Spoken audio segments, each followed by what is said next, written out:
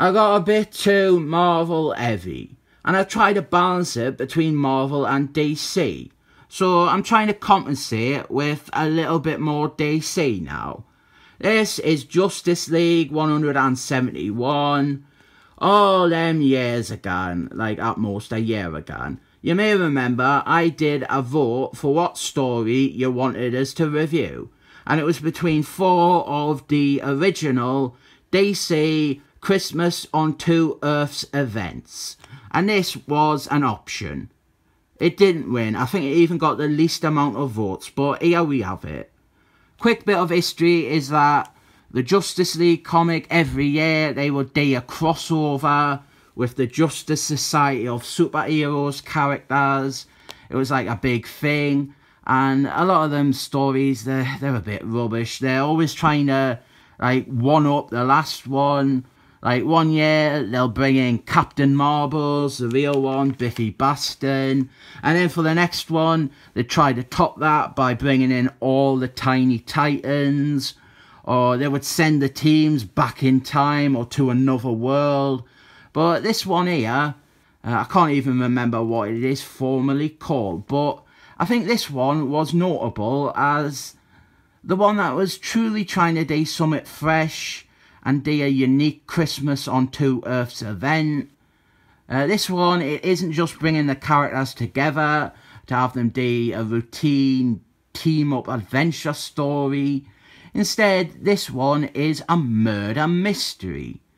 Uh, the ultimate reveal is a complete arsepull, but I commend it for trying something different. So we've got both the teams, they're gathered together, they're having a party, on Watching Tower. Uh, that is the Justice League satellite base. And we've got we've got loads of nice little character bits. Like here, we've got Stephen Hawkman and Satana. And then we're reintroduced to Mr. Terrificals, uh, the original and rubbish version of Mr. Terrificals. And I love saying that because it's a rare case where a race swapped hero is exponentially superior to the original version. Mr. Terrificals, the rubbish white man version, he is the murder victim for this story. And here we are getting some backstory and exposition about how he came out of retirement because one of his Ard-Villians showed up. And he storms off angry because the other heroes suggest that he should just stay retired and let them deal with it.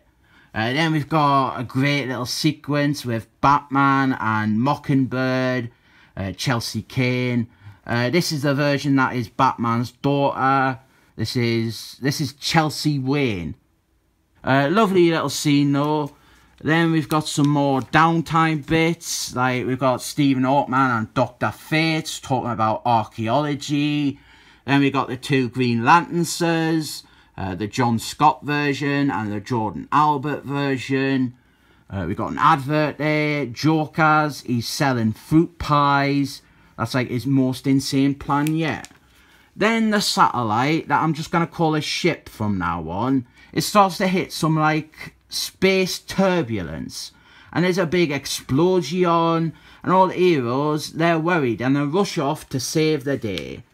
Uh, this story was referred to quite heavily in that issue of the Spectre I reviewed, the one that introduced the new, diverse, better version of Mr. Terrificals, and I purposely tried to avoid giving away who commits the murder, even though the reveal is really shit.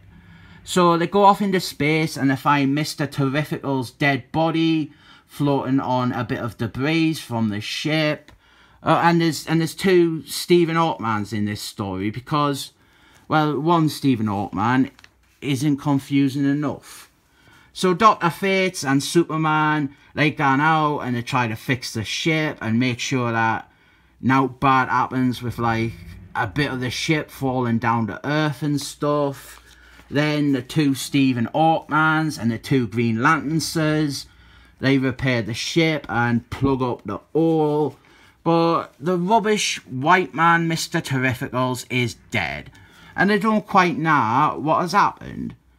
Then some of the more detective characters like The Flask, Barney Allen, and Mockingbird, Chelsea Wayne, they start to try and work out what happened. And then Satana, she uses her magic to try and just tell her what caused all this. And she ends up in a blooming coma for the sake of plot convenience. So the two flasks they run all around the ship to try and see if there's an intruder anywhere, but they can't find anyone. And then they realise that Mr. Terrificals, the white man version, he was actually strangled to death and blown up the ship so he would be jettisoned into space. It was to cover up the murder.